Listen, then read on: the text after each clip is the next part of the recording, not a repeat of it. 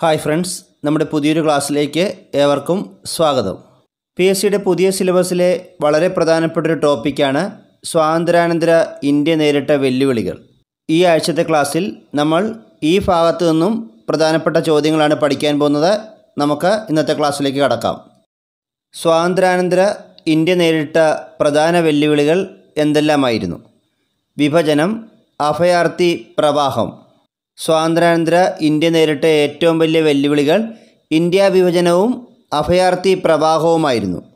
ഇന്ത്യയ്ക്ക് സ്വാതന്ത്ര്യം ലഭിച്ച ആയിരത്തി തൊള്ളായിരത്തി നാൽപ്പത്തി ഏഴ് ഓഗസ്റ്റ് പതിനഞ്ച് ഏത് ദിവസമായിരുന്നു? വെള്ളിയാഴ്ച. ഇന്ത്യയ്ക്ക് സ്വാതന്ത്ര്യം ലഭിച്ച ആയിരത്തി തൊള്ളായിരത്തി നാൽപ്പത്തി ഏഴ് ഓഗസ്റ്റ് പതിനഞ്ച് ഒരു വെള്ളിയാഴ്ചയായിരുന്നു. അതുപോലെ ഇന്ത്യ റിപ്പബ്ലിക്കായ ആയിരത്തി തൊള്ളായിരത്തി അമ്പത് ജനുവരി ഇരുപത്താറ് ഒരു വ്യാഴാഴ്ചയുമായിരുന്നു. ഇന്ത്യയ്ക്ക് സ്വാതന്ത്ര്യം കിട്ടിയ സമയത്ത് ബ്രിട്ടനിൽ അധികാരത്തിലിരുന്ന രാഷ്ട്രീയ പാർട്ടി ഏതാണ്? Labour party.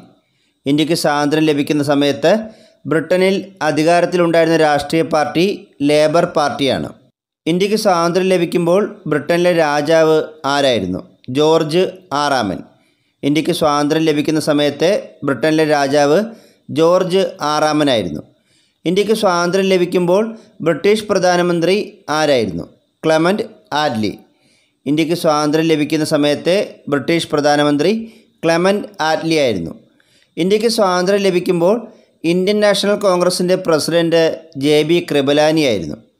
ഇന്ത്യയ്ക്ക് സ്വാതന്ത്ര്യം ലഭിക്കുന്ന സമയത്തെ ഐ എൻ സിയുടെ പ്രസിഡന്റ് ആരായിരുന്നു? J B Kripalani. ബ്രിട്ടീഷ് ഇന്ത്യയിലെ അവസാന വൈസ്രോയും സ്വതന്ത്ര ഇന്ത്യയിലെ ആദ്യത്തെ ഗവർണർ ജനറലും ആരായിരുന്നു? മൗണ്ട് ബാറ്റൺ പ്രഭു. ബ്രിട്ടീഷ് ഇന്ത്യയിലെ അവസാന വൈസ്രോയി മൗണ്ട് ബാറ്റൻ പ്രഭുവാണ്.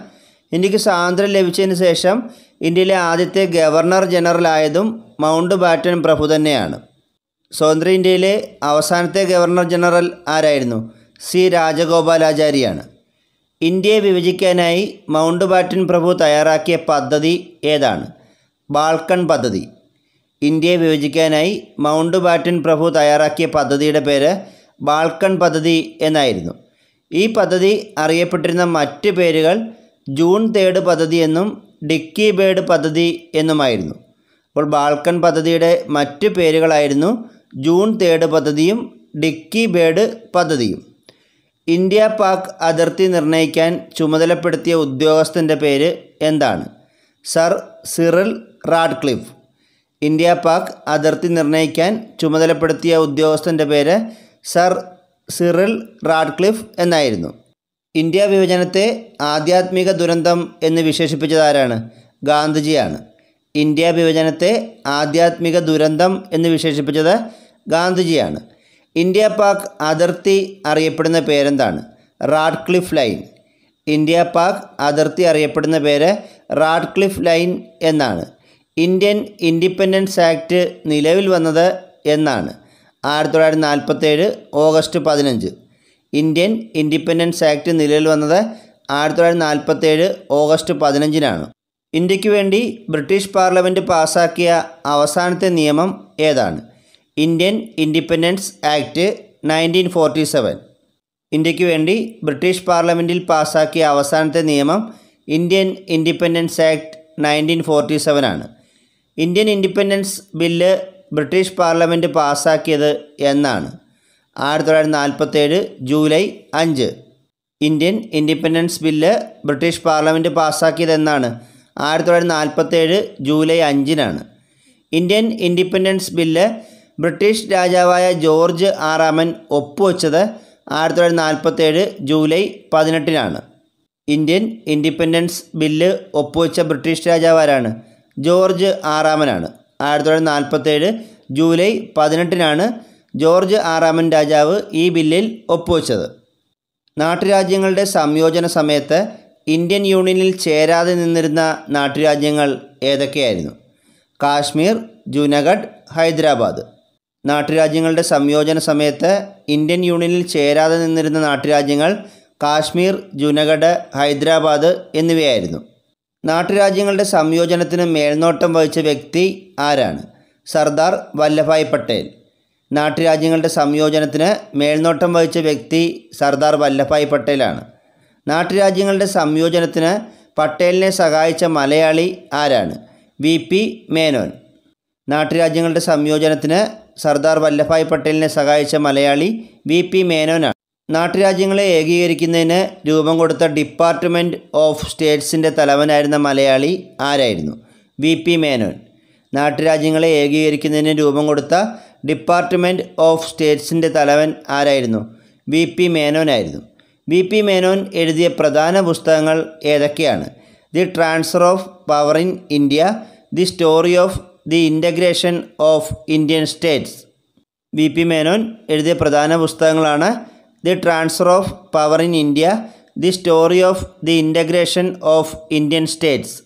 കാശ്മീരിനെ ഇന്ത്യൻ യൂണിയനിൽ ലയിപ്പിക്കുന്ന കരാറിൽ ഒപ്പുവെച്ച കാശ്മീർ രാജാവ് ആരാണ്? രാജ ഹരിസിംഗ്.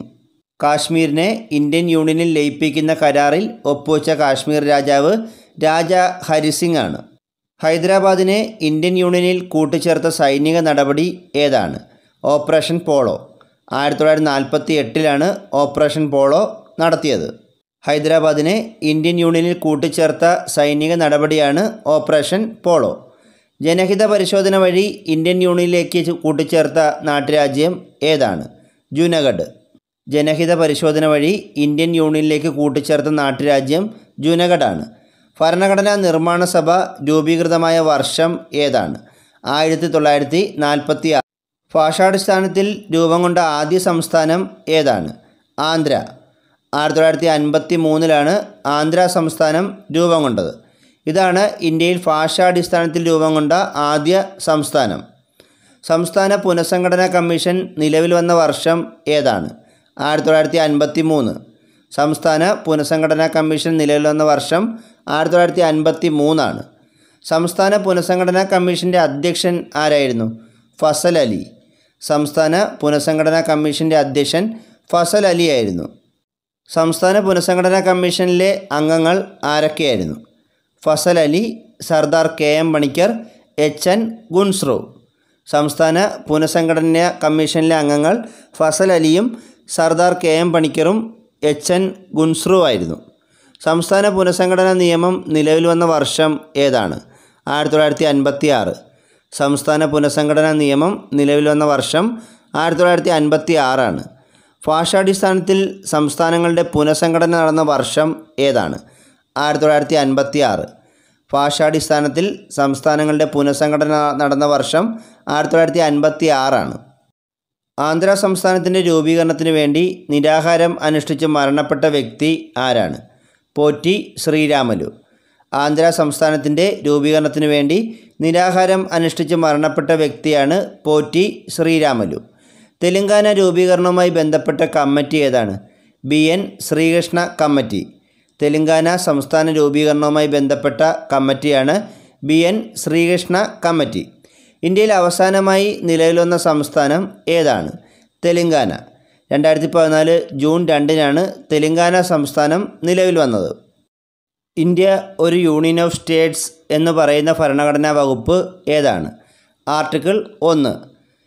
ഇന്ത്യൻ ഭരണഘടനയുടെ ആർട്ടിക്കിൾ ഒന്നിൽ ഇന്ത്യ ഒരു യൂണിയൻ ഓഫ് സ്റ്റേറ്റ്സ് എന്നാണ് പറയുന്നത്. പുതിയ സംസ്ഥാന രൂപീകരണത്തെക്കുറിച്ച് പ്രതിപാദിക്കുന്ന ഭരണഘടനാ വകുപ്പ് ഏതാണ്? ആർട്ടിക്കിൾ മൂന്ന്. പുതിയ സംസ്ഥാന രൂപീകരണത്തെക്കുറിച്ച് പ്രതിപാദിക്കുന്ന ഭരണഘടനാ വകുപ്പ് ആർട്ടിക്കിൾ മൂന്നാണ്. നിലവിൽ ഇന്ത്യയിലെ സംസ്ഥാനങ്ങളുടെയും കേന്ദ്രഭരണ പ്രദേശങ്ങളുടെയും എണ്ണം എത്രയാണ്? ഇന്ത്യയിൽ ഇപ്പോൾ ഇരുപത്തെട്ട് സംസ്ഥാനങ്ങളും എട്ട് കേന്ദ്രഭരണ പ്രദേശങ്ങളുമാണ് ഉള്ളത്.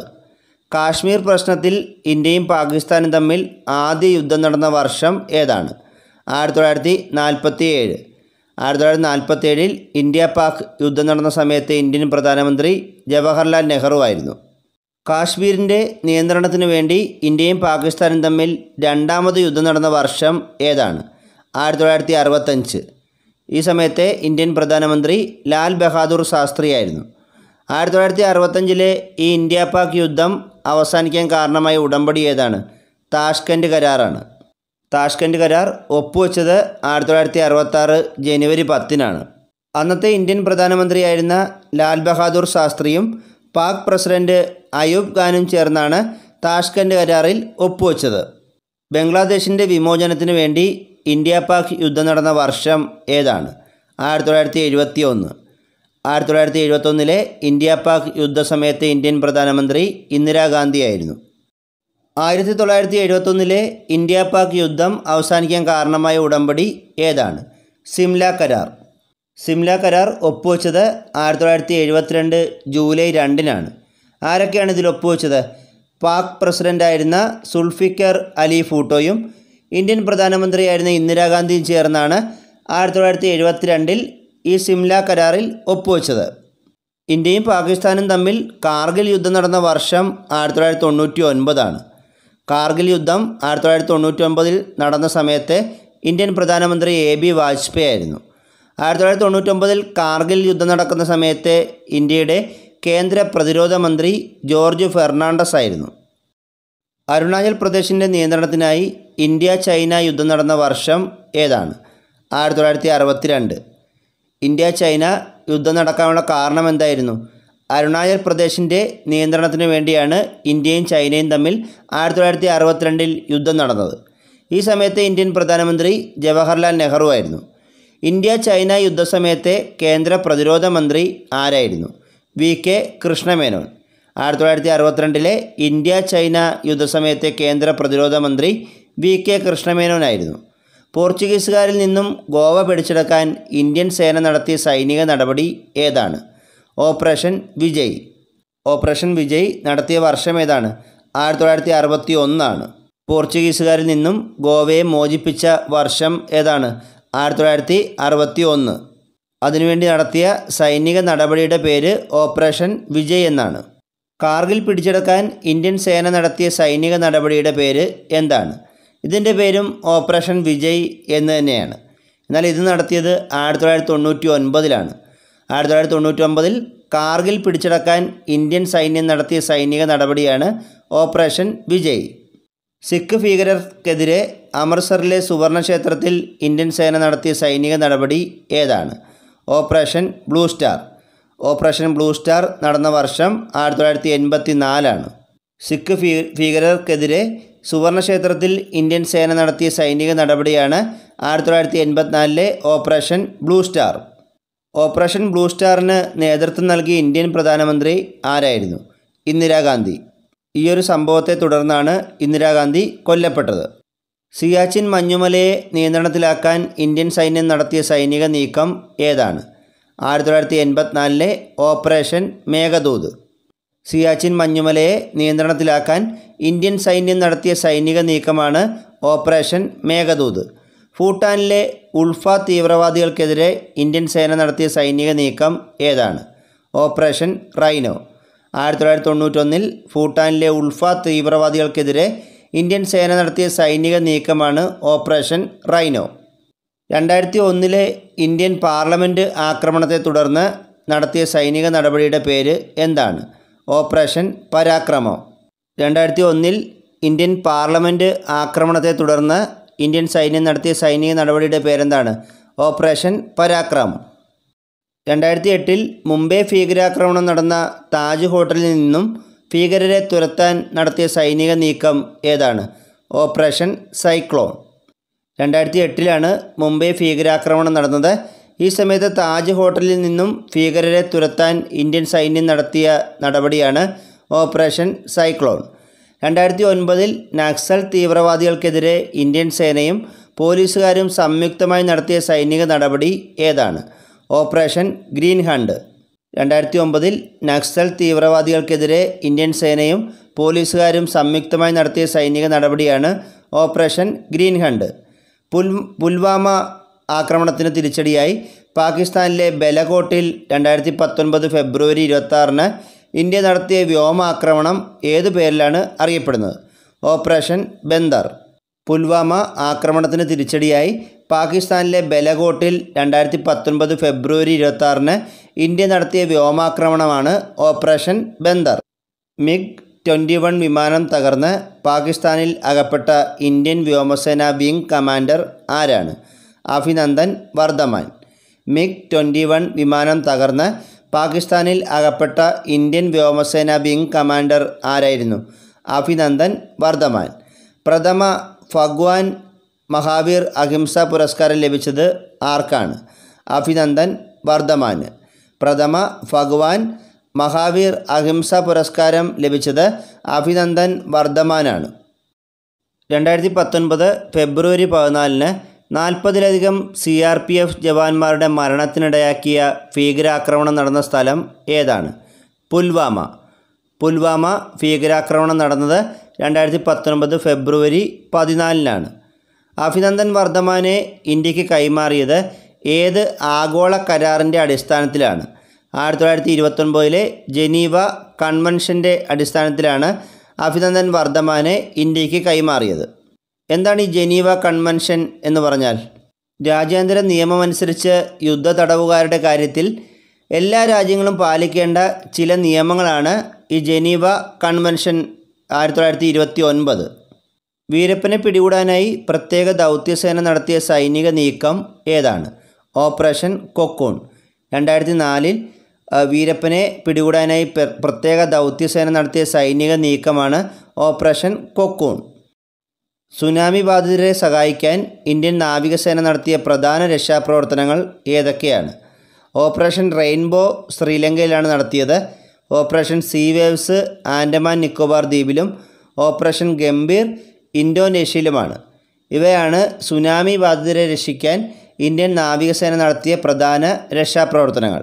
ശ്രീലങ്കയിൽ ഏതാണ്? ഓപ്പറേഷൻ റെയിൻബോ ആൻഡമാൻ നിക്കോബാർ ദ്വീപിൽ ഓപ്പറേഷൻ സീ വേവ്സ് ഇന്തോനേഷ്യയിൽ ഓപ്പറേഷൻ ഗംഭീർ. ഇന്നത്തെ ക്ലാസ് ഇവിടെ അവസാനിച്ചിരിക്കുകയാണ്. ഈ ടോപ്പിക്കിലെ തുടർന്നുള്ള ഭാഗങ്ങളുമായി അടുത്ത ക്ലാസ്സിൽ കാണാം. താങ്ക്